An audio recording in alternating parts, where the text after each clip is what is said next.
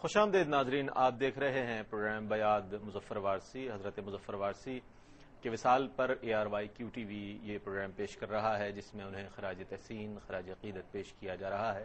हमारे साथ मौजूद हैं जनाब अज़ीज़ एहसन साहब, मुमताज़ नक्काद, मुमताज़ महक़ मुमताज़ मुसनफ़ और इनके साथ तशरीफ़ रखते हैं मुमताज़ मोहतरम नात गो नात खान नात रिसर्च स्कॉलर जनाब सैयद सबीहुद्दीन सबी रहमानी और कारी असदुल हक हमारे साथ मौजूद हैं। अज़ीज़ भाई प्रोग्राम अख्ताम की तरफ़ जा रहा है और यकीनन एक ये मखसूस जो वक्त है, उसमें उनकी शेरी जितनी काविशें हैं और जितनी खदमात हैं, उस पर बात तो नहीं हो सकती। लेकिन हमारा यहाँ बैठने का मकसद आज ये है कि उन्हें खराज तहसीन पेश किया जाए, उनकी खदमात को खराज अकीदत पेश किया जाए। आखिरी चंद कलमात आप क्या कहना चाहेंगे? क्यू टीवी वालों का शुक्रिया अदा करूँगा कि उन्होंने एक रिवायत डाली है कि जिस दिन हमसे कोई बड़ा आदमी रुखसत हुआ है उसी उसके लिए एक प्रोग्राम ये एहसास ज़िम्मेदारी है। और ये एहसास ज़िम्मेदारी और नात के हवाले से जो काम ये कर रहे हैं ये इनका फ़र्ज़ भी था और और ये इन्होंने निभाहा। मैं इनका शुक्रिया अदा करता हूँ। और वाकता ये तमाम नादगोल शोरा की तरफ़ से भी और नात की दुनिया की तरफ़ से भी मुझे ये खुशी हो रही है कि ये प्रोग्राम इस तरह हालाँकि ताजियती प्रोग्राम लेट भी हो जाते हैं हम्म। लेकिन जो वक्त इन्होंने चुना है ये बहुत अच्छा है एक बात मैं ये अर्ज़ करता हूँ कि वो बहुत ज़्यादा अच्छी नसर भी लिख सकते थे हम्म। और बहुत ज़्यादा शायरी माशाल्लाह की है उन्होंने लेकिन जब उनसे आफ्ताब नकवी साहब ने बहुत सारे सवाल किए और जो दूसरे शोरा से भी किए थे नात नंबर के लिए। तो उन्होंने बड़े मुख्तसर मुख्तसर यानी उससे ज़्यादा मुख्तसर किसी ने मसलन उन्होंने पूछा मोहरकत क्या थे? तो उन्होंने कहा जी नात के मोहरकत क्या थे? कहने लगे जी ये फन मेरे खून में तैरता हुआ महसूस होता है। बस इतनी सी बात कही। उन्होंने कहा जी किससे मुतासर है? कहने लगे किसी से नहीं। ऐसी ऐसी बात। और ये ये उनके खड़े होने की दलील भी थी कि वो कह रहे हैं किसी से नहीं इसलिए कि वो अपना डिक्शन खुद बना रहे थे। और उनका वाकता एक लहजा बन चुका था और, और उसकी रिकग्निशन भी हुई थी। और अल्लाह ने चाहा तो ये रिकग्निशन कयामत तक कायम रहे इंशाला सर भाई क्या कहेंगे? मुजफ्फर वारसी साहब अब हमसे रुख्सत हो चुके हैं। उनका जो बहुत सारा मवाद है शेरी मवाद जो है उसको किस तरीके से किन की ज़िम्मेदारी है ये कि उसको महफूज किया जाए और उसको इफादा आम के लिए किया जाए। रईस बात यह है कि बज़ाहिर तो मुजफ्फर वारसी कल हमसे रुख्सत हो गए आज उनकी तदफीन हो गई। लेकिन खुद जिस आदमी ने अपने इश्क से ये मिसरा तराशा हो शहीद इश्क रसूल हूँ मैं हाँ, हाँ। तो शहीद कभी मरता नहीं। क्या बात। और शहीद इश्क रसूल जब तक हुजूर नबी करीम वसल्लम हैं और हमेशा हैं जब तक उर्दू नात है और हमेशा है जब तक मुजफ्फर वारसी का नाम उनके काम की खूबसूरत यादगार और उनका पढ़ने का अंदाज उस शाखान नबी करीम वसल्लम के दिलों को गरमाता रहेगा और उकसाता रहेगा इस बात पर कि वो उनकी मगफरत के लिए दुआ को हाथ उठाते रहें। और यही हमारे इसके आज के प्रोग्राम का मकसद वहीद भी था हम्म। कि हम पूरी उम्मत मुस्लिमा से ये दरख्वास्त करें कि आज इस आशिक सादिक की रहलत हुई है। हम इनको क्या नज़र कर सकते हैं? इन्हें तो हजूर अलैहिस्सलाम की बारगाह से दायमी उरूज और शोहरत की मंजिलें मिल गई।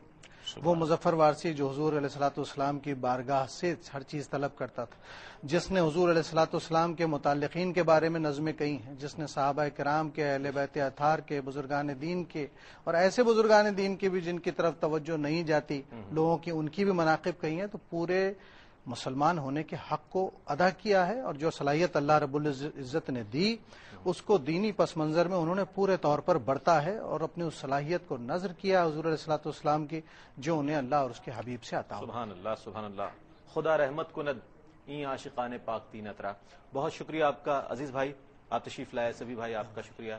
कारी सदुलक। आखिर में नाते रसूल मकबूल सल्लल्लाहु अलैहि वसल्लम पेश करेंगे जनाब कारी सदुल हक मैं चंद अशार पेश कर दूँ मुजफ्फर वारसी साहब के कि बख्ते सियाह जब दरे आली पे रख दिया। बख्ते सियाह जब दरे आली पे रख दिया। सूरज उन्होंने दस्ते सवाली पे रख दिया। सूरज उन्होंने दस्ते सवाली पे रख दिया।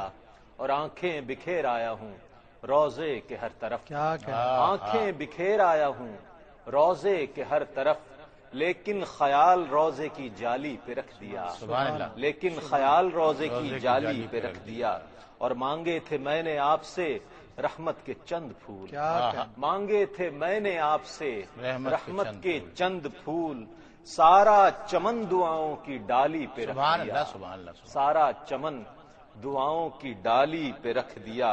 और मक्ता देखिए कि लिखने चला जो नात तो मेरे हुजूर ने। लिखने चला जो नात तो मेरे हुजूर ने। लफ्जों का ढेर जहन की थाली थाली लिखने चला जो नात तो मेरे हुजूर ने लफ्जों का ढेर जहन की थाली पे। रख दिया बख्ते सियाह जब दरे आली पे रख दिया। सूरज उन्होंने दस्ते सवाली पे रख दिया। यकीनन जब तक मुजफ्फर वारसी साहब अलैह का हमदिया कलाम, नातिया कलाम, मनाकिब, सलाम व दीगर कलाम पढ़ा जाएगा। उनके लिए दुआ मगफरत की जाएगी और उनके लिए ये सवाब जारिया है। अल्लाह ताला उनकी कब्र पर अपनी करोड़ों रहमतों का नजूल फरमाए। आखिर में नाते रसूल मकबूल सल्लल्लाहु अलैहि पेश कर रहे हैं। कारी असदुल हक, इसके साथ ही अपने मेजबान रईस अहमद को इजाज़त दीजिए। अल्लाह हाफिज।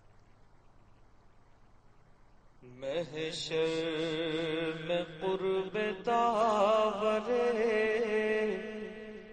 महशर मिला मुझे। महशर में कुर्ब तावरे महशर मिला मुझे। ऐसा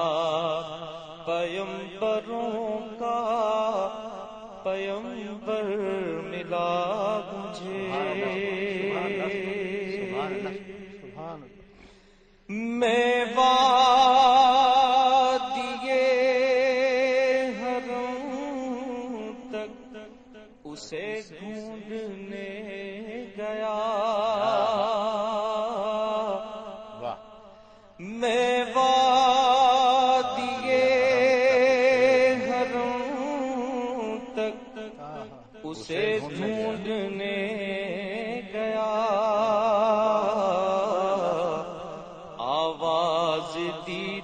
अपने अपने ही अंदर मिला- मिला। अंदर मिला मुझे आवाज़ दी तो अपने ही अंदर मिला मुझे मांगे थे चंद फूल बहारें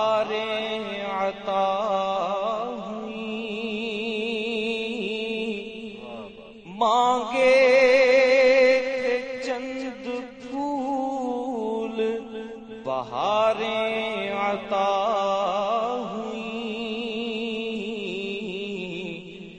जो कुछ मिला विसात से बढ़कर मिला मुझे।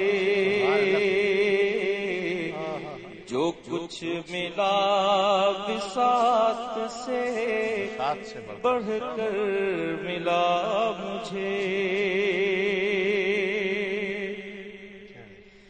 हर अश्क मेरे वास्ते एक नाव बन गया।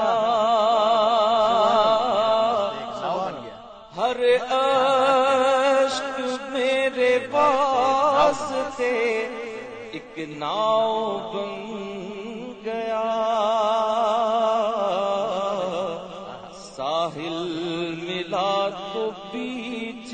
समंदर मिला मुझे। साहिल मिला तो बीच समंदर मिला मुझे। देखा जो गर्क हो के मोहम्मद की जात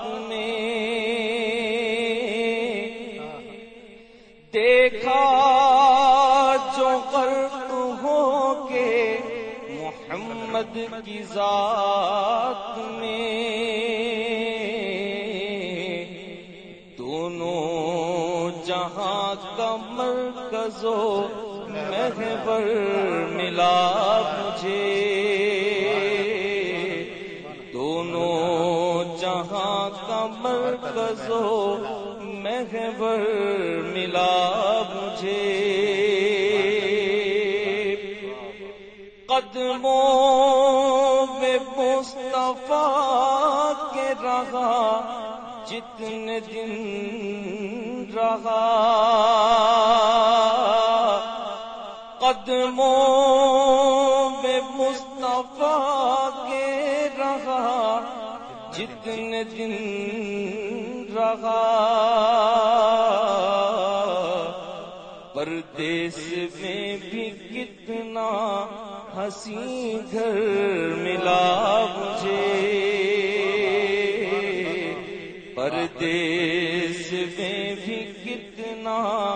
हसी घर मिला।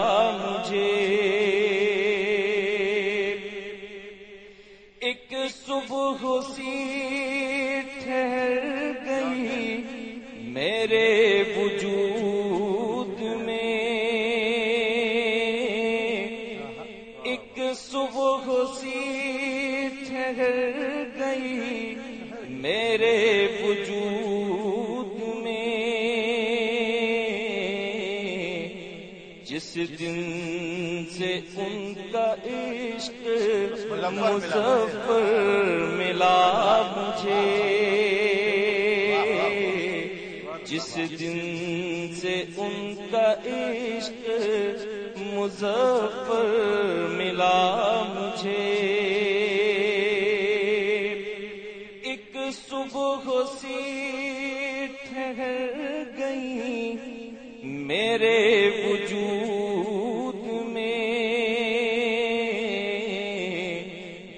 दिन से उनका इश्क मुजफ्फर मिला मुझे। जिस दिन